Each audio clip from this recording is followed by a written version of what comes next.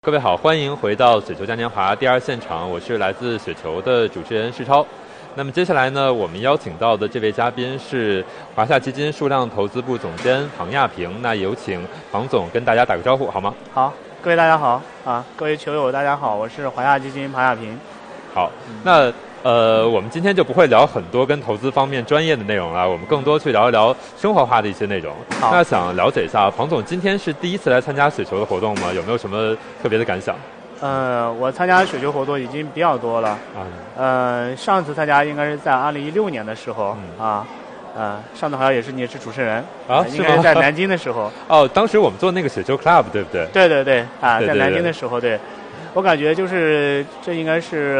呃五年之后了吧啊啊四年多五年之后的话，呃雪球的整个氛围也是越来越浓了，而且这过去这四年多，我感觉整个雪球平台的这个专业能力啊、专业化程度，包括雪球球友的专业化程度都在明显的提升，就大家讨论问题的深度啊广度，以及包括这个投资的一些方法论的话，都有很大的提升对。所以的话，我觉得从今天会场就能看出来，大家已经开始谈的话题的话，要。要跟时间做朋友啊，啊，价值投资啊，或者研究一些上市公司的趋势啊，长期的基本面等等，对。所以我觉得话就是专业能力确实有一些很多很多的提升。第二的话，我觉得就是氛围非常好，因为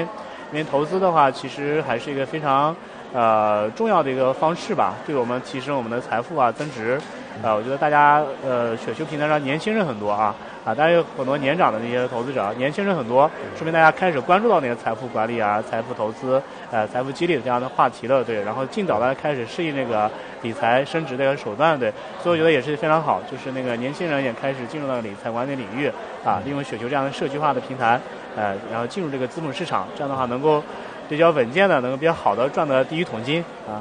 对，像刚刚庞总有说到啊，可能我们二零一六年的时候，那个时候我记得还是比较小的场地，可能我们两三百人或者四五百人的一个场地，其实没有那么多人，一百五十人左右，一百五十人。对，今天现场可能有超过一千位球友，可能真的是这么多年雪球的发展也会变得有很多的不一样。对，那想来了解一个问题啊，就是您其实作为基金经理，老是有别人问您说，您怎么帮别人去管钱？对，但是我们特别好奇一件事情，就是说您在自己做家庭资产规划的时候，您会去怎么做？嗯，怎么说呢？我自己在家里的话，主要听我老婆的啊，还是钱是交我老婆来打理。对，但是在老呃我太太呢，她也会去具体的会买一些基金啊，或者其他的理财，她也会听听我的意见。那毕竟我还是在这个行业里从事这个工作的，对。对。我个人的那个家庭资产配置的话，也是比较简单。我会把自己的资产的话，相对来说比较分散化一些。啊，基金有一部分，然后有一部分是这种，呃，这种那个偏类似这种理财啊，或者说那个其他类的资产。那第三类的话，可能还有一些那种，呃，比如说做一些固定资产的投资啊等等，相对来说比较多元化一些。对。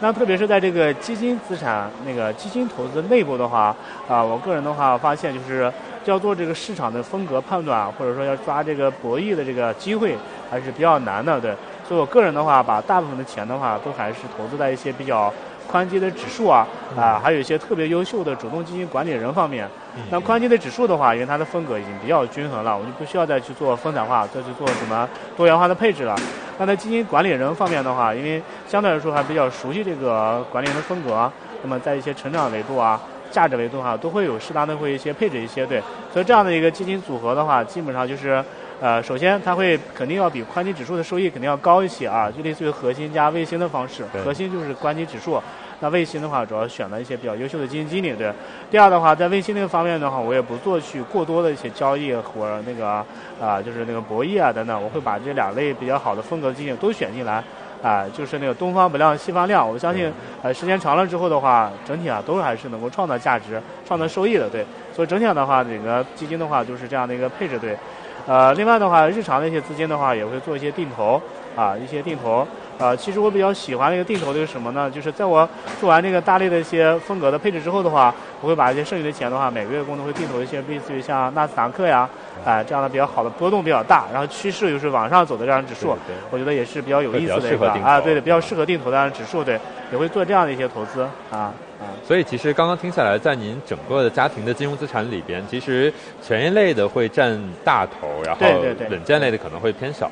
对，稳健会少一些，对，因为毕竟还是比较年轻，能够承担承担一定的风险的。对，所以也是代表着您其实比较看好未来的整个资本市场的一个前景，对吗？对对，当然了，对。对，然后接下来一个问题啊，其实我知道您是做指数出身的，对，可能您之前有研究指数都会比较多一些，但其实在过去的这二零二零年里，其实听大家探讨这个主动管理型基金，探讨的反而会更多一点，包括像我们在雪球上边可能看到大家日常去讨论的这个话题，慢慢从之前可能很多人都在去聊指数，今年有一些人会开始聊主动型的这个基金，不知道您怎么看这个问题？您觉得明年还会是这样的一个情况吗？呃，指数和主动的话，它其实都是一类基金啊，它都是它都有基金经理在打理啊。指数的话，它可能就是一个基金经理通过这个指数来复制啊。对。主动的话，要去主动的去选股啊，去交交易啊，要做做择时啊，等等等。对。我个人觉得的话，指数和主动的话，就是都是有各有优劣吧，在。未来的市场当中的话，都是有不同的适应的场景的。嗯那主动基金的话，可能就适合相当于我们把所有的资金都委托给这个基金经理了，让他来帮我们做配置、做择时、做选股啊。那指数基金的话，相当于是我们自己把这个选择了一个赛道啊，然后这个选股这个方案的话，就交给基金经理来选择了，对。然后仓位也是我们自己来选择，对。所以指数基金的话，它这个交易难度比较高一些，对。那适合比较有一些经验的，或者说有这样的一个。呃，专业能力的投资者来适合参与这个指数型投资。那么主动基金的话，就适合啊，对这个没有多余的时间或者没有多余精力或者没有多余的这种呃专业能力的呃辅助，然后呢，所以把资金全部就委托给主动基金的管理去做配置，对。那么这两类的话，我觉得殊同同归吧，都是在创造价值，对。那今年以来的话，确实这个主动基金啊，确实是大放异彩啊，因为在这种结构化的行情当中的话，它通过一些。呃，多元化的配置啊，或者是风格的偏配的话，确实获得了一些呃比较好的收益等等。我相信未来的话，应该还是还是有这样的一个机会的，对，因为整个市场的话，我觉得还是会存在这种非常多元化的或者非常这种呃比较结构化的这种机会吧。那主动基金的话，能够善于把握这种行情和机会，能够帮我们把这些赚钱或者说呃获得一比较好的收益。那么指数型基金的话，我觉得还是有这种市场空间的，对。那很多专业的球友啊。啊，专业的交易型选手的话，可以像主动基金经理一样来管好自己的赛道。这样的话，他不用去选股了，啊，直接去选择，比如说 ETF 啊，啊，直接去做一个配置，也能取得一个比较好的收益对。所以整体上的话，我觉得，呃，指数和主动的话，未来必然是一个相得益彰的一个啊，相互发展的这个共同发展的一个这样的一个状态对。那么这时候的话，呃，那个他，但是他都有适应的这个投资者啊，适应的那个适应的投资的方法。啊，我觉得不是谁主导或者谁谁次之的一个状态，对，它都有适应市场适合的市场的环境，对，啊，对。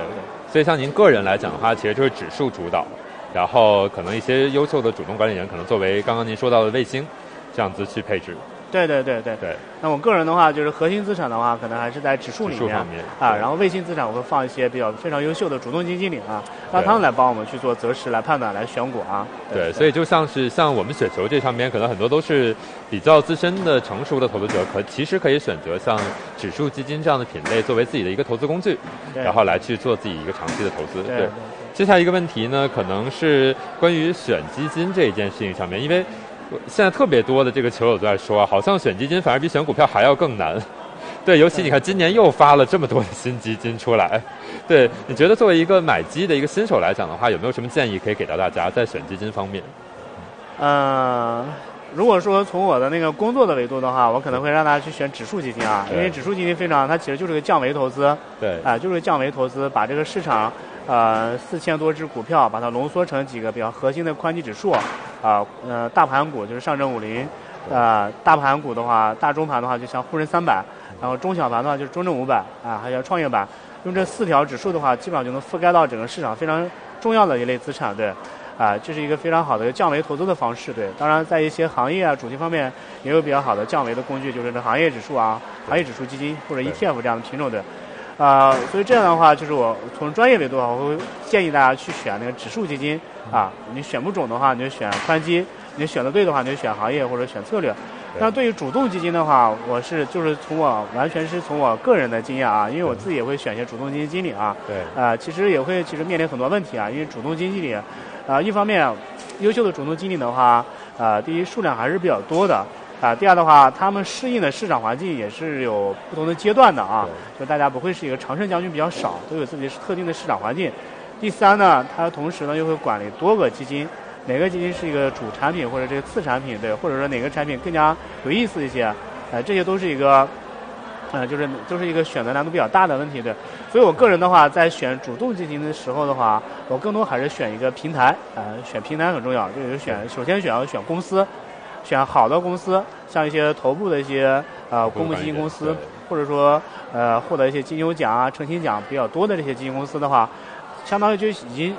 间接的就缩小了我这个选项的范围了。那么在这个头部公司当中的话，我再去看看，就是它的那个呃头部的基金经理啊，头部的基金经理啊，通过他的一些那个风格的研究啊，持仓风格的研究，同时也会看一些他的一些，比如说他的采访的记录啊，啊，他自己陈述一些他自己的一些投资的一些策略的一些采访的文章。看看他的那个交易思路啊，投资方法是不是跟我的理念，呃，我可接受的那种方法？对。那么这时候再同时最后的话再去看他的基金的那个表现和业绩，啊，最后的话通过这三个维度的话，基本上就能锁定一个比较好的基金经理。就是就是几个维度吧。第一个维度就是选平台，啊，基本上比较重要的一些大头部的一些基金管理平台。第二的话选头部的基金经理。第三的话对选人。第三步的话就是选产品，啊，选这个风格理念跟我比较契合的一个产品。啊最后的话，就会锁定这么一两只具体的产品来进行投资啊，这是一个，这是我个人在选主动基金时候一些经验。那指数的话，是一个比较标准化的方法了啊。对啊，所以其实也是想向各位球友说，其实我们不能是说，哎，我买一个基金只看它的收益，